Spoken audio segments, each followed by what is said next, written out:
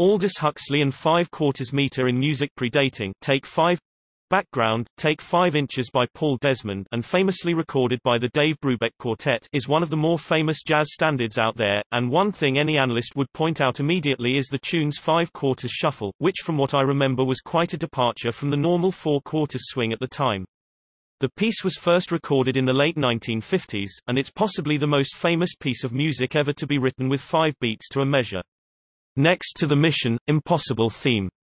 Recently, I have been reading a book a fictional work unrelated to music by Aldous Huxley titled Brave New World, 1932, containing a passage that interested me. 400 couples were five-stepping round the polished floor. Lenina and Henry were soon the 401st. The saxophones wailed like melodious cats under the moon, moaned in the alto and tenor registers as though the little death were upon them. Rich with a wealth of harmonics, the tremulous chorus mounted towards a climax, louder and ever louder until at last, with a wave of his hand, the conductor let loose the final shattering note of ether music and blew the sixteen merely human blowers clean out of existence. Thunder in a flat major. And then, in all but silence, in all but darkness, there followed a gradual detumescence, a diminuendo sliding gradually, through quarter tones, down, down to a faintly whispered dominant chord that lingered on, while the 5-4 rhythms Still pulsed below, charging the darkened seconds with an intense expectancy. Emphasis mine, and I must mention I've heard some refer to Huxley's saxophones as sexophones, but I doubt it makes much difference overall. Phrases like alto and tenor registers, a diminuendo sliding gradually, through quarter tones, and a faintly whispered dominant chord prove undoubtedly that Huxley has had some non-trivial experience with music and music theory apparently, these phrases aren't proof enough for everyone, but I'll stick to my guns. This book was originally published in 1932, way before Desmond and Brubeck's smash hit. Clearly, the concept of moaning jazz saxophones paired with five quarters time signatures had not been inspired by Take 5. But if five-quarters time signatures were so revolutionary in the late 50s, how on earth would Huxley have put these ideas together? I haven't even found any reference to Huxley ever being involved with music at all, let alone able to understand such complicated ideas as irregular meter and quarter tones. So, my musical question.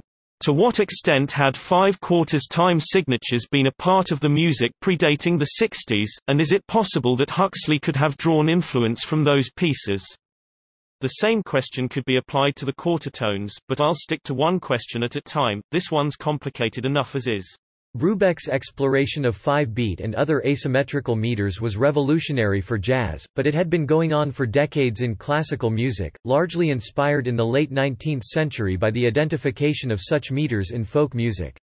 Prominent along these composers were several Russians. Wikipedia attributes Brubeck's interest to his studies with Darius Milhaud quintuple meter. I note that Huxley does not mention jazz.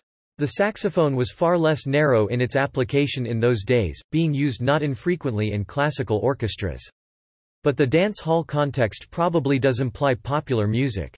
I suspect that Huxley chose the 5-4 meter precisely because it would be unusual in that context, it's a dystopian story, after all, so unusual details abound. But such meters would be familiar to someone who followed classical music. Furthermore, they will have been associated with Russian music, if not exclusively, just as Lenina's name evokes the leader of the Soviet Union. For more context, Take 5 appeared on the Dave Brubeck Quartet album Time Out. It was composed by Paul Desmond, the quartet's saxophonist. The album is devoted to unusual time signatures. Rather than attributing this interest to Brubeck's study with Milhaud, this article says, with citations, that it arose during a tour of Eurasia.